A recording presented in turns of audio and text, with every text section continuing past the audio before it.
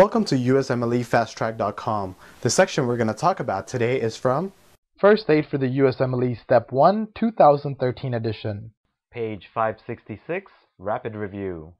What is myxedema? Myxedema is a dermatologic condition associated with Graves' disease and hypothyroidism.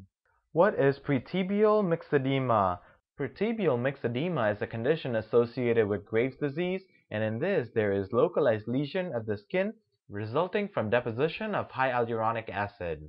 What are the clinical presentation observed with myxedema? The clinical presentation observed with myxedema are cutaneous and dermal edema due to connective tissue deposition. For more information on this topic, click on the link in the description section below. For a full USMLE Step 1 review, be sure to check us out at usmlefasttrack.com where we help you review the entire first aid for the USMLE Step 1 with high quality videos and hundreds of detailed pictures for a better understanding of the material. So to learn from the best USMLE review book, be sure to check us out at usmlefasttrack.com.